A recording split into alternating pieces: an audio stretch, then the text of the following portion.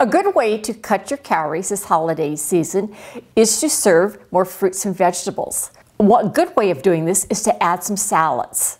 This salad is made with baby spinach, sliced strawberries, and slivered almonds, mixed together with a low-fat vinaigrette dressing. You might skip the ingredients such as the croutons or pieces of bacon, which are higher in calories, also do add extra salt to the meal. So have a happy, healthy holiday season.